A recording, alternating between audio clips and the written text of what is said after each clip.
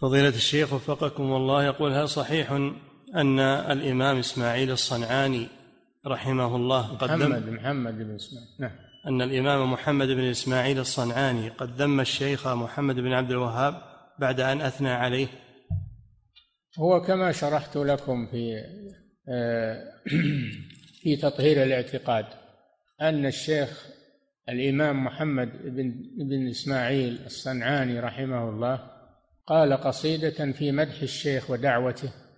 فلما جاءت القصيدة شرق بها أعداء الشيخ في بلاد نجد وأرسلوا اثنين أرسلوا اثنين إلى اليمن.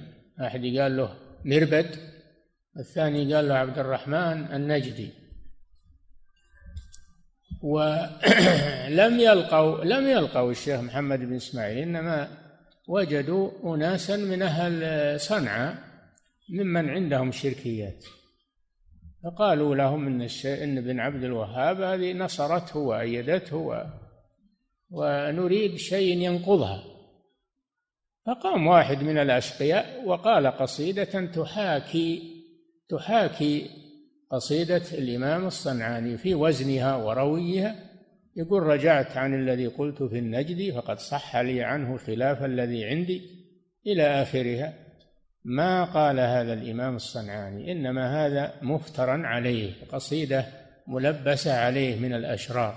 استجابة لهذين الشقيين اللذين ذهب من الحسد إليهم وطلبوا منهم انتحال هذه القصيدة الظالمة. نعم.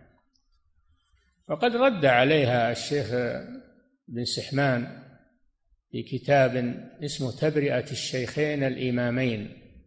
كتاب جيد. رد عليها نثرا ونظما. نعم. فضيلة الشيخ وفقكم الله. يقول هل صحيح ما يذكر أن أخ الشيخ سليمان بن عبد الوهاب ألف كتابا في الرد على أخيه؟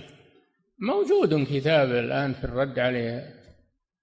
موجود الصواعق الإلهية في الرد على الوهابية الله أعلم هل هو صحيح أنه بالنسبة له صحيح أو أنه مفترى. وكان سليمان في الأول على غير وفاق مع الشيخ لكنه في النهاية تاب إلى الله وتوبته موجودة موجودة في الدرر السنية أيضا. نعم.